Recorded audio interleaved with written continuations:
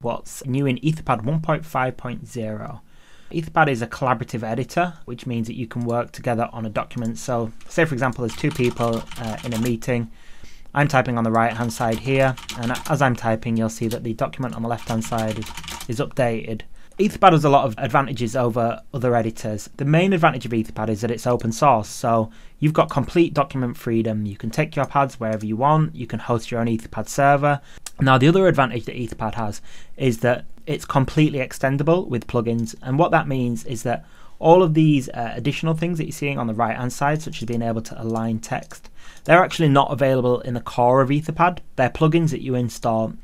So as you can see, once we get into the plugins page, we have um, all of our install plugins and then we have all of the available plugins. So I'm going to find a plugin, there we go, comments page. And I've just hit install on that. And that's going to install the Etherpad plugin on our Etherpad instance. Now you can see that when I've reloaded the pad, I have the ability to uh, add a new comment to a section. So if I select this contents here, I can add a comment, and if I hover over it, it shows me which comment, and, and vice versa. And I can also do uh, replying to comments and, and these kinds of bits of functionality. Now what else is new in 1.5? Well, we've done a lot in the way of page load performance. So that was about optimizing which files do and don't load when you access a pad. We also have a functionality to switch between pads, so that makes uh, switching much faster uh, if you're going from one pad to another. We have full pad export ability, so I can export this pad here and I can import this pad. Now, now the significant thing about the way that Etherpad handles this versus other editors, especially online ones, is that you, with Etherpad you get the full document revision.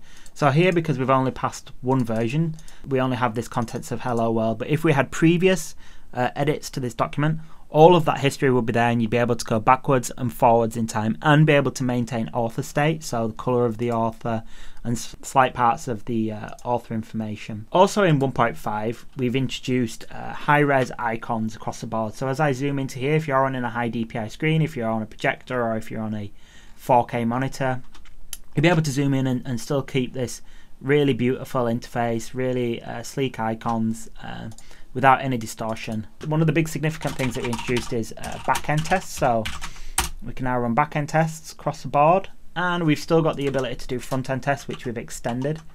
So if I jump onto uh, the Etherpad URL and just type in, hit the URL test front end, this will run through and test every single piece of functionality that, uh, or the majority of the functionality that exists, including uh, plugins, which can also expose tests.